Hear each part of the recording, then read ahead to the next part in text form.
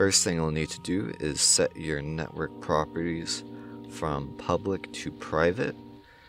Next, we want to go into the control panel and then go into programs and features.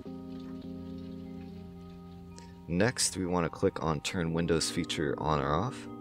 Then we need to scroll down and find SMB 1.0 server and make sure it's checked and then click OK. Windows is going to go, ahead and install all the files needed for you.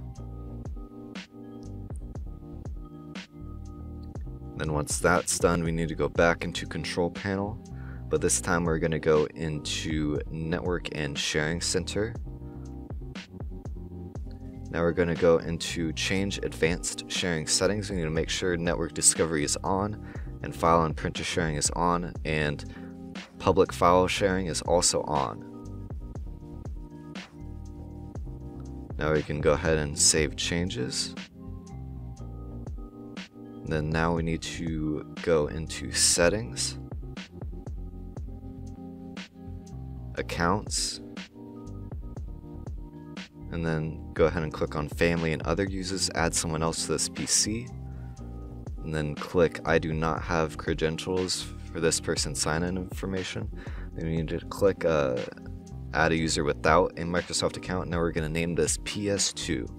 And for simplicity, I'm also going to make the password PS2. And I'm just going to enter some F's for the uh, security questions. This doesn't matter.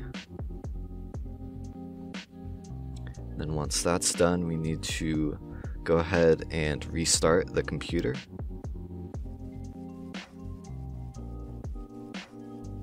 And then once the computer is restarted, we need to go into this PC, local disk C, users, public. Then we need to make a new folder and name it PS2. Now go ahead and give that a right click and go into properties, sharing, and then advanced sharing. Now we're going to check share this folder, then go into permissions, add, and then enter PS2. And then click OK and check full control, and then apply OK. And then apply OK, and then go ahead and close. Now go into this PS2 folder we just made and make a new folder with all capital DVD. Now go ahead and uh, drag your game ISO into this folder. And then we can go ahead and close that. And now we need to go back into settings, go into network, and then go ahead and click on properties.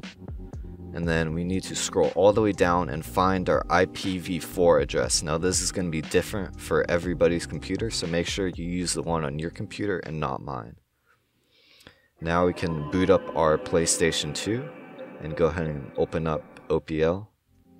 Once we're in OPL, we need to go into settings.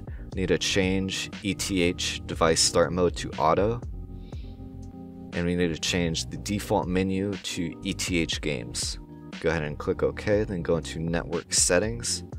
Then we're going to go under address type, set that to IP then change this to your IPv4 address on your computer. Again, this is going to be different for your computer as it is to mine. So make sure you enter the right one.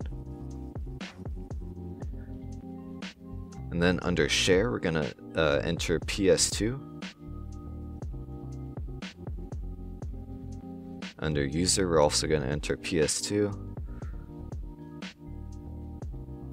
And then finally for password, yet again, we're going to enter PS2.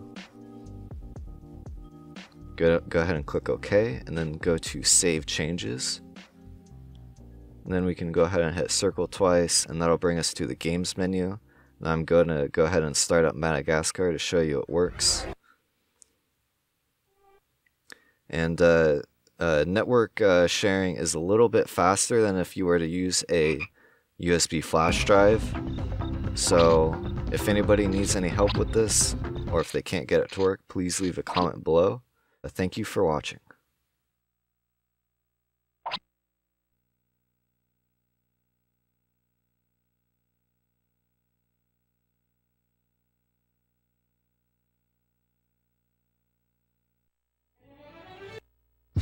Collect three power cards.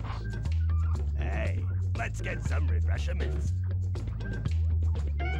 I love this treadmill.